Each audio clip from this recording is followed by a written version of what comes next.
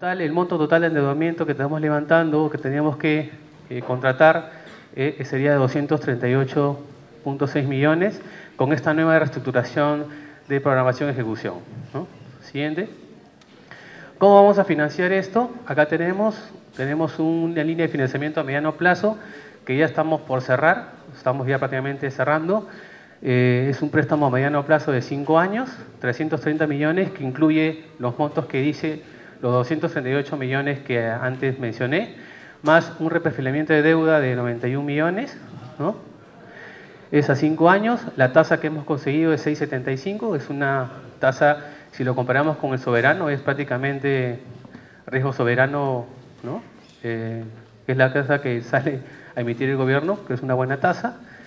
Eh, amortizaciones mensuales a medida, de acuerdo al presupuesto programado de 2015, 2014, 2016. Y eh, las garantías, tenemos eh, un fideicomiso implementado ya en el Banco Continental, sería la misma garantía, no tendríamos que implementar ninguna otra garantía adicional. Con lo cual, con esta línea de financiamiento de mediano plazo, estamos solucionando el financiamiento de todo el marco, de todo el paquete de, inversión de 332 millones que estábamos este, buscando, ¿no? O sea, resulta que no tenemos los bonos, pero es un éxito. ¡Qué maravilla! Así son los éxitos. Pues no, no se hace la cirugía, pero fue un éxito. Entonces, ¿qué, cosa es eso? O sea, en 2008 era director de deuda del Estado peruano y ocurrió la crisis financiera internacional y decidí no emitir una emisión del Estado peruano que iba a salir al 8,5%. Nadie en el mercado financiero piensa que soy un fracasado porque decidí hacer eso. Está en el ministro, el viceministro de acuerdo, está de acuerdo buena parte del equipo de deuda, no todo.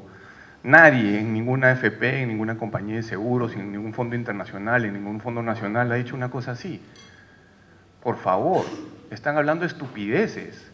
Si se creen tan vivos en la parte financiera, invítenme a un, a un programa en la tele o en la radio, pongan un modelo al medio y los hago parir, porque están hablando de estupideces. No sean irresponsables. Han dicho la semana antepasada que Lima estaba en crisis.